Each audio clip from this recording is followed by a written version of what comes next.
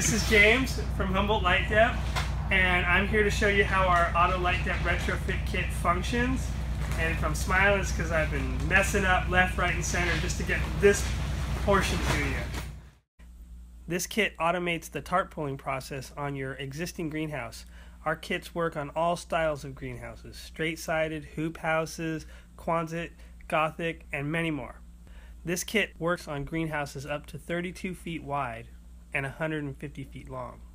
Our kits include two electric motors, a pivot point, a controller, some plastic clips, and some self-tapping screws, and detailed instructions on how to set this up.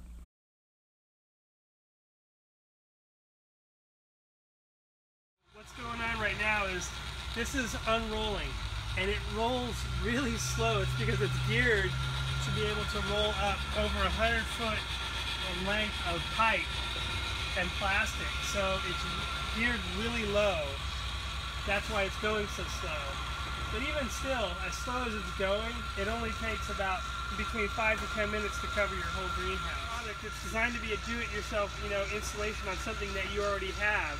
And the better your product, your greenhouse is, and, and I'm not talking about the quality of the plastic and stuff like that. What I'm talking about is the better it was constructed, if it's level and flat and square, the better product, the better our product's going to work on that. However, I have many customers that don't have a level greenhouse and it's not square and it still works effectively. They just had to do a few minor touches to get it to work effectively, but if you have a square level one right off the bat, it's just going to be a lot easier to install and set up. Alright, so this over here, you can see the pivot point. This is the arm that stabilizes the motor. And then off here is the roll-up pole that runs the whole length of the structure.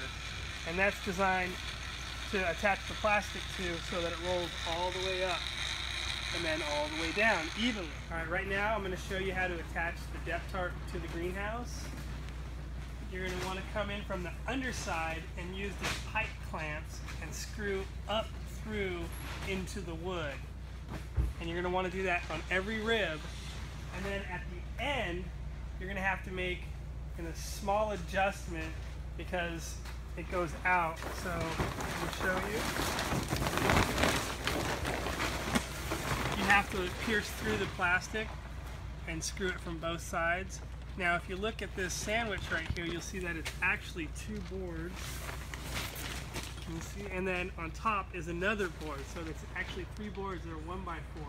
When you put your plastic up, first of all, when you put your sandwich on, your stabilizing board on, you want to put it dead center lengthwise and widthwise so that it's dead center.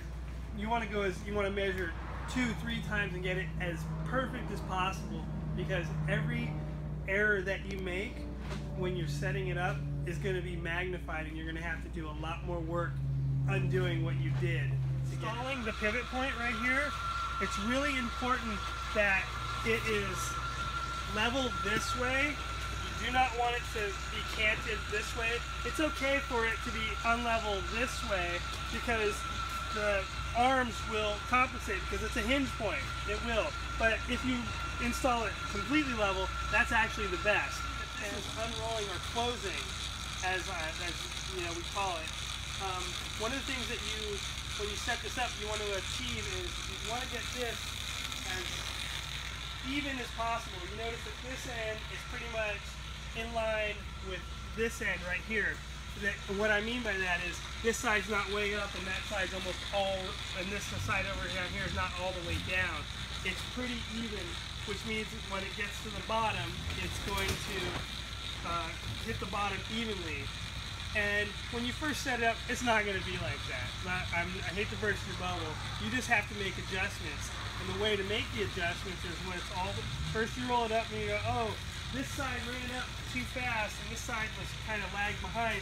So you unroll it all the way down and you come over to the section that ran fast and you give it a little bit of slack. You pull off the clips, give it a little bit of slack, put it back, and then over to this side that ran fast, you pull it off and you pull a little bit of slack out and put the clip back on, and then you run it again. You have to make several micro adjustments when you first install it.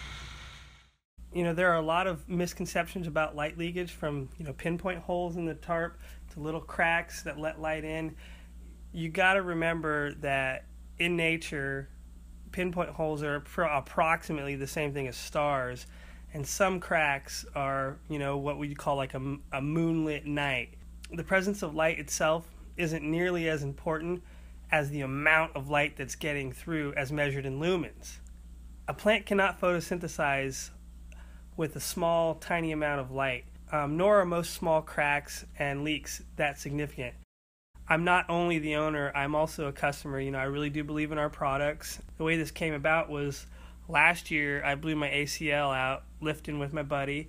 At that point, I had no other choice but to automate. And so for years, I've been thinking about it. Having a blown out ACL laying on the couch really made me put rubber to the road, and I was able to design it, and I came up with this product. I really do believe in it. I know it'll work for you.